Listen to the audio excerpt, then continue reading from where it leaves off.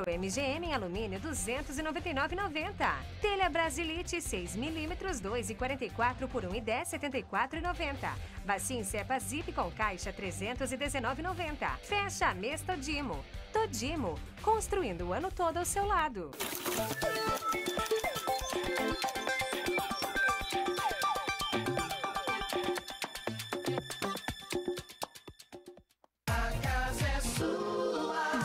Apoio Verde Flora e Garden Flora. Floricultura e paisagismo.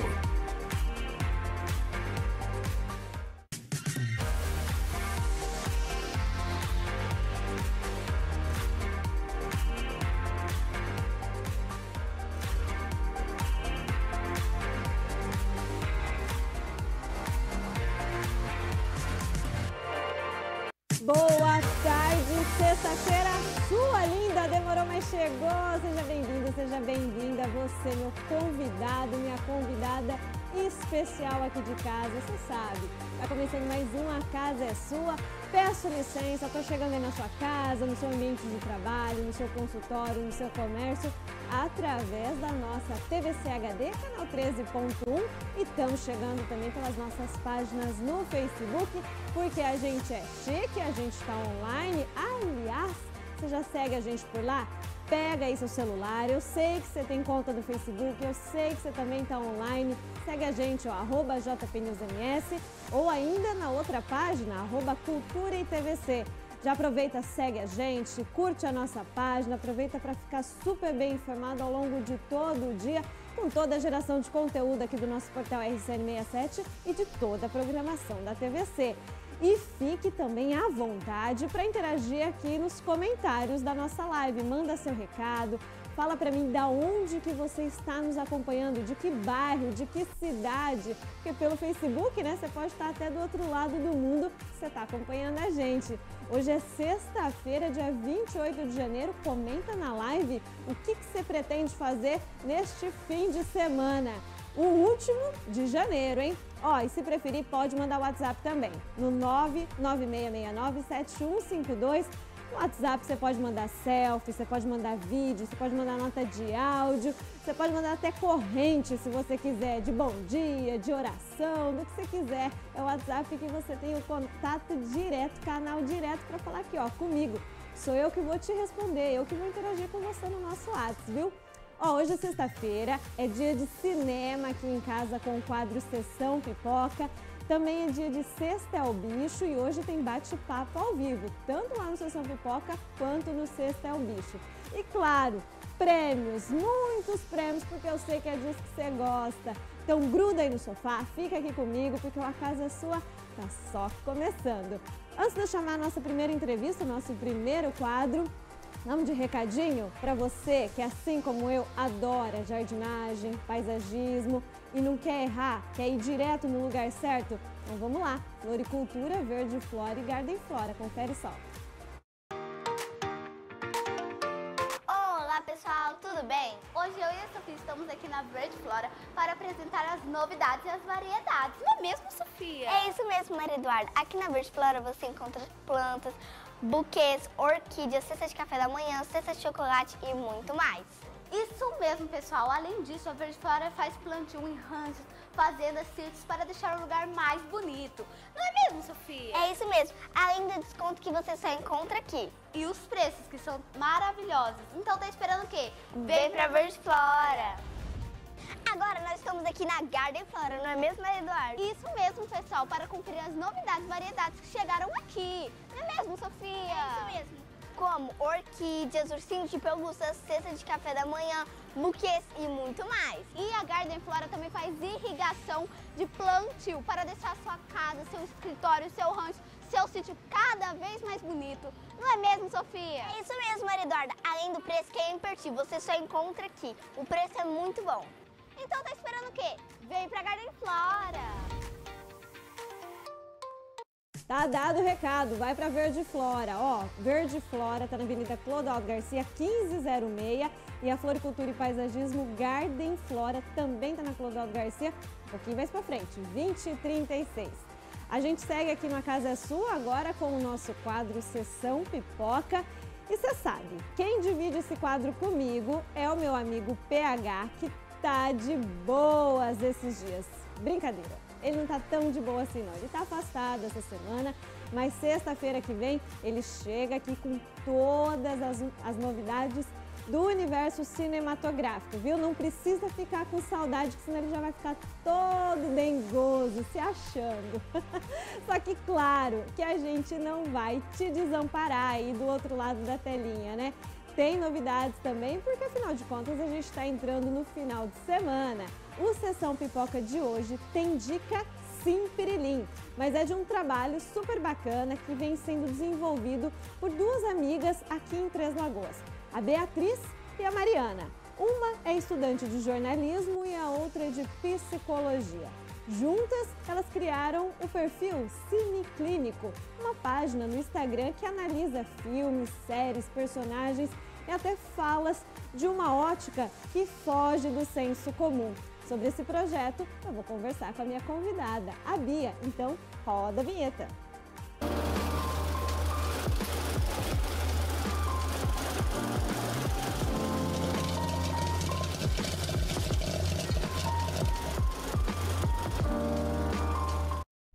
Bom, já estou aqui, aposto, sentada e hoje não é o PH que está do meu lado, é a Beatriz. Seja bem-vinda, Bia, a casa é sua. Muito Tudo obrigada. bem? Tudo bem, um prazer estar aqui. Prazer é nosso, Bia. Hoje a gente está fugindo um pouquinho do que a gente é acostumado fazendo sessão pipoca. Trouxemos você representando a dupla Bia e Mariana, donas do perfil Cine Clínico. Então conta pra gente o que é este projeto, o que é o Cine Clínico. Bom, o Cine Clínico, ele é um Instagram, uma página que a gente fez, que ele junta é, o cinema e a psicologia. Então, como ela faz psicologia é, eu faço jornalismo, então a gente misturou essas duas coisas e quis trazer de uma ótica, como você disse, é uma análise, um, uma, uma vista bem diferente do assunto. A gente nunca tinha visto nada que juntasse os dois, pelo menos eu nunca tinha visto, ela falou que já tinha um contato. É, e assim, a gente sempre foi muito muito próximo uma da outra, a gente tem uma amizade de nove anos e sempre se deu muito bem com o, a área uma da outra. Então eu gosto muito de psicologia, é, já fiz muita análise, é uma, uma, área que eu me identifico bastante e ela já pensou em fazer jornalismo também. Então é, o projeto surgiu como uma forma da gente é, juntar essas duas paixões assim e também entrar um pouco no, no nosso mercado de trabalho, sabe? Uhum. Mostrando um pouco o que a gente sabe fazer e sem cobrar tanto uma da outra. Como a gente é muito amiga, então ficou uma coisa muito muito leve, assim, que o pessoal está gostando bastante. E já está criando um portfólio também, vocês. Já estamos criando um portfólio. e qual que é o objetivo do projeto? Bom, o objetivo, ele é, é disseminar mesmo a informação de uma forma muito leve e muito fácil para as pessoas entenderem, principalmente de psicologia, é, que é uma coisa que muitas vezes é passada como um assunto pesado ou com uma, um palavreado um pouco mais rebuscado. Uhum. Então a gente tenta passar de uma forma bem simples para todo mundo entender e essa é a parte da Mariana, que ela faz a escrita, então é sempre muito acessível. A gente queria deixar esse assunto bem acessível e como a gente até fala na nossa, na nossa página, a arte imita a vida. Uhum. Então nada melhor do que trazer é, filmes, séries, documentários, é, a gente não colocou ainda, mas a gente pretende trazer é, sobre músicas, clipes, coisas que do cotidiano mesmo que a gente vê em arte e trazer isso com uma análise bem legal e bem acessível. Que bacana. E de onde que veio a ideia? De uma conversa jogada fora num domingo à tarde? Mais ou menos num isso. grupo de WhatsApp? A gente, eu já tinha conversado com ela um tempo antes que eu queria fazer alguma coisa no meu perfil sobre cinema. Mas eu tinha medo de começar a fazer e me cobrar muito e acabar não gostando ou desistindo ou ficando uma coisa que você faz assim e acaba deixando de lado. Uhum. E ela também queria fazer de psicologia, mas tinha esse mesmo medo que eu tinha, né? Esse Quase mesmo um receio. Bloqueio. É, um bloqueio totalmente. E aí a gente estava pensando num projeto, em alguma coisa que eu queria fazer, ela também queria fazer. E ela entrou em contato comigo, falou, amiga, eu acho que a gente podia juntar as duas coisas, fazer um Instagram e não vai ter tanta essa cobrança. É, nós duas vamos conseguir fazer, né? Vai ficar uma coisa bem legal, a gente se conhece há muito tempo, uhum. então a gente tem essa liberdade uma com a outra. Ô Bia, e quais temas mais aí voltado para psicologia mesmo, né? Que vocês já abordaram em publicações. Eu dei uma stalkeada preparando a pauta, mas eu já conheci o perfil, confesso. E aí o post Evelyn Paris, até compartilhei contigo, que é uma série que eu adoro. E aí, vendo o conteúdo que vocês levaram sobre a série, eu falei, puxa vida, eita, que isso aqui eu também não tinha observado. Algumas colocações, eu, à medida que eu fui vendo a série, eu já tinha também notado, mas outras foi através do post que me passou essa informação, esse conhecimento. Mas aí essa é a pergunta, né? Quais temas que vocês já levaram pro Instagram? Muito legal, fico feliz que você tenha gostado. É, bom, tomara que eu não esqueça de nenhum. Mas a gente falou sobre abandono, valores. Emily em Paris, a gente fala do burnout, sociedade do cansaço, é, sentimentos e.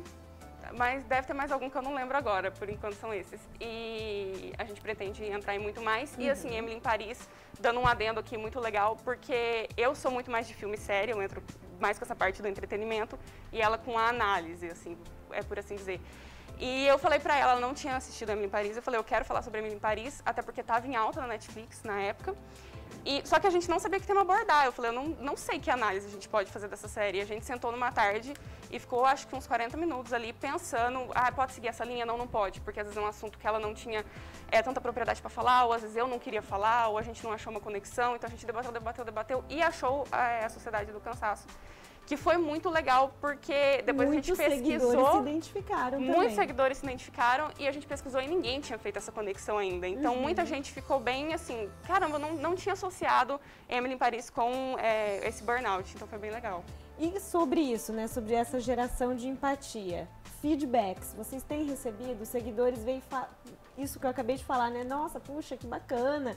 Não tinha parado para pensar com essa ó- por essa ótica. Vocês têm recebido? Temos bastante. Emily em Paris acho que foi o principal que a gente recebeu, justamente por ter sido uma abordagem bem diferente. Mas a gente recebeu de muita gente, é, amigo, é, gente próxima, pessoas que seguem, e também de psicólogos. Teve bastante psicólogo que começou a seguir, entraram em contato, porque acharam bem legal essa, essa análise que a gente fez e dessa forma que você falou, nossa, não tinha pensado nisso. Ou então até tinha associado, mas essa explicação me ajudou bastante. Uhum. E com relação a seguidores sugerirem algum assunto, alguma abordagem, algum filme, vocês também recebem? Estão abertas a isso? Com certeza, estamos totalmente abertas a isso. É, ainda não recebemos, acho que por estar começando, acho que o Instagram deve ter um mês ou alguma coisa assim. Nossa, então tá é um bem, bebê. Tá um neném, tá bem no começo. É, então a gente não recebeu ainda, mas estamos completamente abertas a sugestões. Podem mandar lá no direct, no WhatsApp, no meu Instagram, no Instagram dela. Super, super apoiamos. E também porque é uma dica de série e filme para eu assistir. Então eu sempre aceito, gente. Pode mandar. Se não virar conteúdo no Instagram, pelo menos você vai maratonar no É final uma dica para mim, aham. Com é uma certeza. dica aqui no Sessão Pipoca também. que É. bacana. Então passa pra gente, Bia, quais são os canais e principalmente o Instagram do, do canal de vocês. Antes de, de passar, eu queria lembrar, de, eu queria falar, fazer uma colocação aqui que é importante, que eu acho que a Mariana vai gostar muito que eu fiz essa colocação, ela tá ali do lado. É que a gente não quer fazer. O nosso intuito não é fazer uma análise pronta daquilo, é importante falar isso. É porque nós somos duas graduandas ainda e a gente não pode dar uma, uma análise concreta daquele personagem, daquela série, daquele assunto. É uma coisa muito séria para se fazer em questão de, da psicologia, jogar isso numa série que é uma coisa fictícia. Então a gente tenta mostrar é, que pontos daquela série ou daquele filme que a gente pode associar com aquele problema ou com aquele fato, aquela curiosidade, e a gente mostra isso no Instagram. Então queria só deixar um adendo, tá? E mesmo porque a gente está falando de uma área que não é exata, É, que não é Totalmente que dois mais abrangente. dois não são quatro, né? Porque a mente, o comportamento, isso é muito variável, né? Totalmente. Então, legal falar isso. E o Instagram, para quem gostou, quem quiser acompanhar, quem ficou curioso para saber, é arroba cineclínico, então bem fácil. É, entra Pode lá, dá recebidos. uma olhada. Pode, recebidos de cinema, principalmente, livro de psicologia, qualquer coisa. Manda Camiseta de, de, de filme, série, de, série. filme. A Mariana assim. Totalmente. É, e no meu Instagram, arroba Beatriz Benedetti, Mariana, arroba Mariana Riso. E é isso. Nossas redes são abertas para quem quiser assistir, quem gostar, quem quiser dar o feedback positivo ou negativo, ou falar, tá faltando alguma coisa, pode mandar. Pode deixar que eu vou futricar bastante no seu Instagram, porque eu sou bem Stalker. Bem stalker, né? E adoro falar desse conteúdo, adoro o universo cinematográfico. Bia, desejo vida longa pro projeto de vocês, parabéns, sucesso e volte sempre que quiser, porque a casa é sua, viu? Muito obrigada. obrigada por liberar o espaço pra Imagina, gente. que isso. Ó, vamos fazer uma pausa bem rapidinha, mas na volta tem mais A Casa é Sua, tem Sexta é o Bicho ainda, com entrevista ao vivo e tem prêmio, então fica por aí.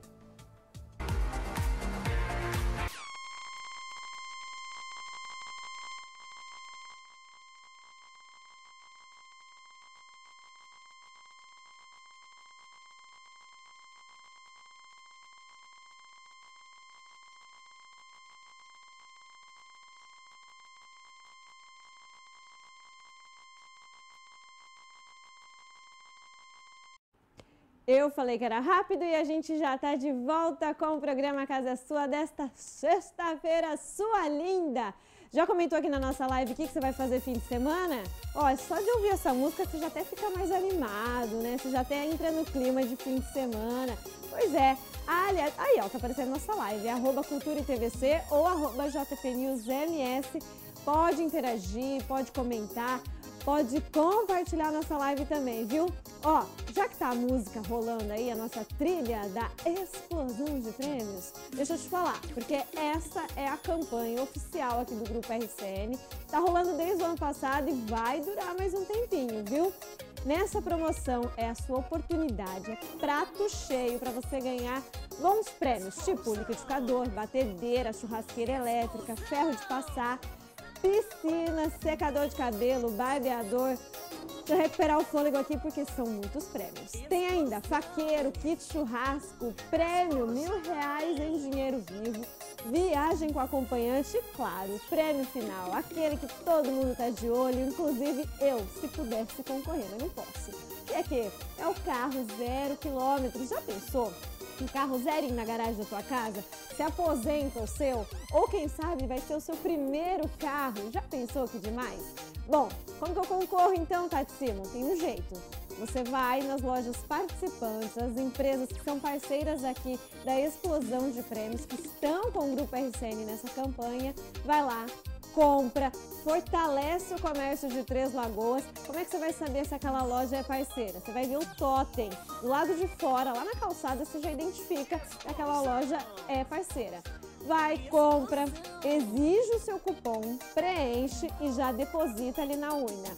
Cruza dedinho, porque quem sabe você não é o próximo sortudo. Tem um detalhe, para concorrer ao carro, aí o esquema é diferente mais ou menos, um pouquinho diferente. Você vai lá na loja, você compra, só que aí o cupom ele é virtual, você não vai preencher e depositar na urna, ele é virtual. Você vai pegar o seu celular e vai espelhar ele no QR Code que está disponível somente nessas empresas parceiras. Tem sorteio já agora no mês de fevereiro, dia 24. Tá chegando, viu? Dia 24 de fevereiro, mais um grande sorteio. Detalhe, aqui no A Casa é Sua vai rolar um outro sorteio, que é um liquidificador da marca Britânia, no dia 16 de fevereiro. Para concorrer ao liquidificador aqui do A Casa é Sua, o esquema é mais fácil. Aí você não precisa gastar nenhum centavo. Você só tem que pegar o seu celular e mandar um WhatsApp aqui pra gente. Diretor, bota na tela o nosso WhatsApp. E eu não sei de cor, eu preciso colar. Ah lá, 996697152. Manda um WhatsApp pra mim. Fala, Tati, quero participar. Manda uma selfie assistindo aqui ao A Casa Sua, que aí eu vou te enviar um formulário eletrônico. Você vai preencher colocando seu nome completo e o endereço que você está acompanhando o programa, onde você mora, né? Pronto, tá concorrendo. No dia 14, mentira, no dia 16, até confundi a data, no dia 16 de fevereiro eu vou fazer o sorteio do liquidificador aqui do A Casa é Sua. Gente, é prêmio, é prêmio todo dia. E tem prêmio no TVC Agora, e tem prêmio na RCN Notícias, no Pulseira de Prata, no RCN Esportes. Todo dia, toda semana tem telespectador faturando aqui, viu? Bom, trocando de trilha, vamos seguindo aqui no A Casa Sua, porque hoje, sexta-feira, é dia do nosso quadro também Sexta é o Bicho. O Sexta é o Bicho dessa semana tem entrevistado especial aqui em casa. A gente vai falar sobre um assunto muito comum, super frequente nos lares de quem possui pet em casa. Mas é que um nome complicadinho e às vezes você acha que o seu pet não tem. Quer ver só?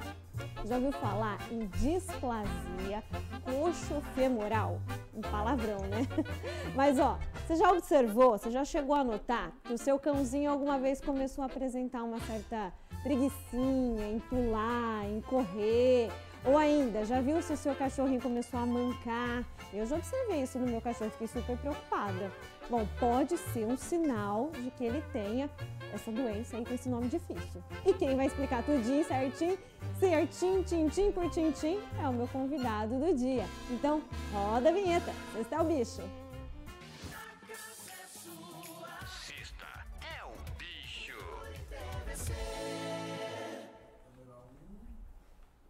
Bom, falei que hoje tem entrevistado. Hoje aqui em casa tá, a casa tá cheia, né? Vocês viram?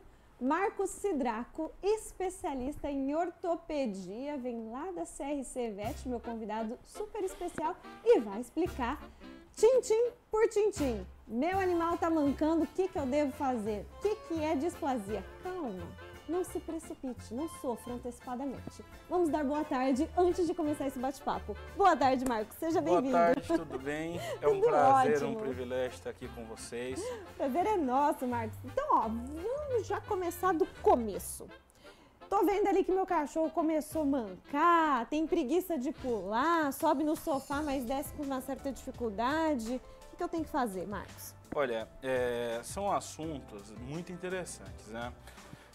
O animal, quando ele começa a demonstrar né, comportamentos diferentes do normal, né, é, demonstrador, dificuldade para ficar em pé, né, os animaizinhos pulam na gente, quando eles ficam em pé sem ter dor no quadril, tudo bem? É um dos principais sintomas, tá? Aquele animal preguiçoso, né? As pessoas olham e falam, nossa, como meu cãozinho é preguiçoso. Não é que ele é preguiçoso, às vezes ele sente dor e por isso ele demonstra esse comportamento mais letárgico, né? Que quer dizer mais tranquilo, mais parado, mais sossegado assim. E tem raças que é mais comum isso? Sim, tem várias raças. Normalmente, as raças de animais grandes, né? Por ser uma doença genética, né? Que vem desde os pais, dos avós para os animaizinhos, né? Vem transferindo por gerações essas doenças, né? É, a gente, como que eu posso te dizer? Os animais grandes, principalmente o pastor alemão, o boxer, né? é, Rottweiler, esses animais de maior porte aca- acabam sofrendo mais desse problema. Foi é, cruzamentos de consanguíneos, né, de animais que têm é, o mesmo problema, que foi trazendo isso até hoje pra gente. Uhum. Agora eu abri é, esse bate-papo falando sobre, deixa eu até colar, porque o nome é difícil mesmo, displasia coxofemoral. É, eu trato isso como uma doença? É uma doença. Sim, é uma doença, né? Igual a gente estava falando de origem genética, vem dos pais, dos avós. Então, por isso é muito importante, né? Por exemplo, ah, vou adquirir um animal, vou fazer a compra né, de um pastor alemão, de um Rottweiler e tudo mais, procurar canis certificados, procurar eh, linhagens, né? Inclusive, hoje em dia, até radiografias do animal dos pais para comprovar que os pais não tenham a doença. É, é bem interessante. Pode concluir. Ah, desculpa. É, em relação à à- à doença, né, é um problema no quadril, tudo bem? Né, na região da pelve do animal, o encaixe entre o fêmur e a pelve. Tá? Esse encaixe não é perfeito e toda vez que o animal anda, isso vai acaba esfregando ali né, a cabeça do fêmur no acetábulo e causa muita dor. Vai causando uma artrite, depois uma artrose, né? E o animal vai ficando cada vez mais letárgico, tá bom? Cada vez mais limitado também. Isso, cada vez mais limitado também. E a gente consegue tratar a ponto de curá-lo? Olha, Sim, não. a- é sim e não, né? Hoje a veterinária está muito avançada. Né? Normalmente os animais que têm um, um grau de displasia alto já, entendeu? Normalmente a gente indica cirurgia. E existe hoje desde a prótese de quadril, que é colocada nos animais, como outras cirurgias para resolver, como a colossefalectomia, que também já não é um nome tão fácil. É, outro palavrão. Mas e a viabilidade disso? Olha, é, a grande intenção dessas cirurgias é tirar a dor do animal. A partir do momento que você tira a dor, o animal volta a brincar, volta a correr. A tendência, né, sempre é ele melhorar muito. Uma coisa que a gente ouve bastante em relação a isso, né? Como o animal já nasce com a doença, depois que faz a cirurgia, o proprietário chega e fala: Nossa, eu não conhecia meu cachorro. Hoje meu cachorro corre, hoje meu cachorro brinca, né? Porque antes ele sentia muita dor e a pessoa nem sabia. Ele se acostuma com a dor, ele nasceu com ela. Então, conforme o tempo vai passando, essa dor só vai aumentando até chegar num ponto que o proprietário perceba. Aí que acaba procurando a gente. Um sinal para esse proprietário ficar atento pode ser sai para passear com o seu pet e um dado momento não é- nem é uma distância tão longa assim, nem era para se sentir cansado por conta dessa distância e ele já para, não quer mais andar. Isso também é um sinal. É um sinal. Outro sinal é sempre a hipertrofia do tórax, né? O animal é, tem o tórax bem largo Uhum. e as patas mais finas. Né? A gente vê que ele joga todo o peso para frente para compensar a dor nas patas de trás. Isso também é muito comum e é muito fácil de observar. Só que as pessoas estão acostumadas com isso há tanto tempo que não conseguem enxergar, né? Então é uma coisa para você olhar. Todo mundo está olhando aí no seu cachorrinho em casa. Já anotei essa dica. Ô, doutor, eu vi uma vez, eu não sei se isso é fato ou se isso é fake, aonde eu brinco com o meu cachorro, é o chão. O ideal é que ele não corra dentro de casa onde é piso, né, onde é porcelanato, e sim do lado de fora, onde é ali, por exemplo, contrapiso, né, outro tipo de material. Isso faz sentido ou isso não tem nada a ver? Sim, faz sentido. O cão, gente, infelizmente não foi feito para ficar dentro de casa, né? O cão é um animal, né? A gente tem que ter ciência disso. Ele é um animal, ele precisa brincar lá fora, ele precisa de grama, ele precisa adquirir anticorpos, né? Então, gente, a partir do momento que confina um animal, claro, de espécie, de raça grande, tá, gente?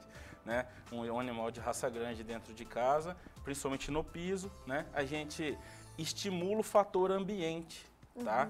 Que são vários fatores que pioram a doença, digamos assim, tá? E o ambiente é uma delas. Então, se ele sempre está pisando e escorregando, tudo bem? É uma questão que também vai para cotovelo, para ombro, né? E a gente vai causando cada vez mais problemas, tá? Doutor, para encerrar, é normal meu pet ser preguiçoso? Então, a gente volta nesse assunto. Tem alguns animais, algumas raças, né, principalmente aqui no nosso calor, né, é, que são mais tranquilos, né? Por exemplo, o bulldog, né, é um exemplo bem clássico que a gente vê aquele bichinho deitado, esparramado assim, principalmente no ar condicionado.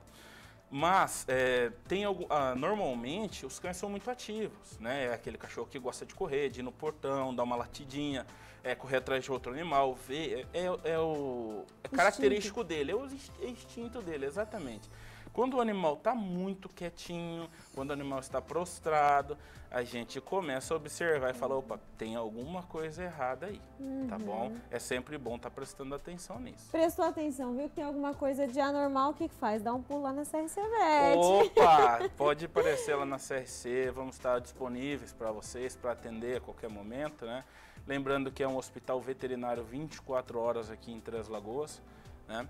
E qualquer favor, coisa que o nosso- o precisar, endereço pra né? nossa Ah, audiência. é verdade. Ó, nós estamos na Rua Paranaíba número 57, no centro, com o Hospital Veterinário CRC Vet. Não tem erro, bem pertinho da lagoa. É do errar. ladinho da lagoa ali, é bem tranquilo de Do achar. ladinho do nosso cartão postal. Doutor, Verdade. muitíssimo obrigada. Foi um prazer falar com o senhor. Volte sempre que quiser, porque a casa também é sua. Falei isso pra Bia, mas pro senhor também vale. Muito obrigado, muito obrigado mesmo, Tati. É um prazer estar aqui com vocês. Né? E meus parabéns pelo excelente programa que vocês vêm Ah, fazendo. muito obrigada, obrigada. O prazer foi nosso, doutor. Bom, é nesse ritmo que a gente se despede da semana e da nossa audiência. Mas você não sai da TVC não, porque na sequência tem pulseira de prata. Eu vou nessa, mas segunda eu tô de volta, hein? Beijo e bom fim de semana. Tchau. Apoio Verde Flora e Garden Flora. Floricultura e paisagismo. Precisando alugar, vender ou até uma consultoria para imóvel particular ou comercial? Fale agora mesmo com Vanja Melo. Há mais de 18 anos no setor, oferece todo o atendimento necessário para sua negociação de forma fácil, rápida e segura. Experiência com financiamento e grande habilidade para resolver documentações imobiliárias. Vanja Melo. Fone Whats 67 2104 3571. Cresce 319